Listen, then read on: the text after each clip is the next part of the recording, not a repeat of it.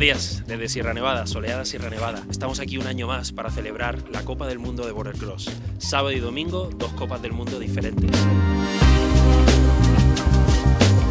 Gracias a las nevadas que hemos tenido recientemente, el equipo de maquinistas y shapers han podido construir uno de los mejores circuitos de border cross de esta temporada.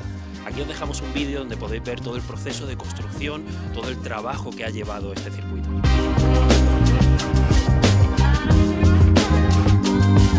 Pues ahora mismo la pista está en el primer proceso, digamos, que es sobre todo el proceso de máquina, movimiento de nieve, toda la nieve que se pueda aprovechar para el circuito y es la primera fase, digamos. Tenemos nieve desde la salida hasta la meta. Ya tenemos dos peraltes casi hechos y ya nos faltan dos otros. Y ahora estamos empezando con la salida, hacer los módulos de la salida. Y ahora en este momento están los shepherds trabajando y en la noche también tenemos máquina trabajando, dos maquinistas, entonces es un trabajo de 24-7.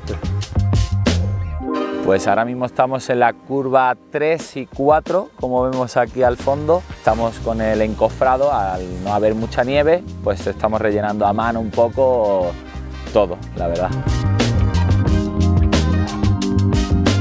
El acabado fino no se puede hacer con una máquina. Digamos el perfilado con la pala para que quede todo perfecto hay que hacerlo a mano. Es un trabajo artesano, digamos, ¿no?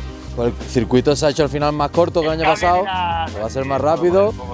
Salida, tres peraltes, rápido, un par de saltos y, y meta.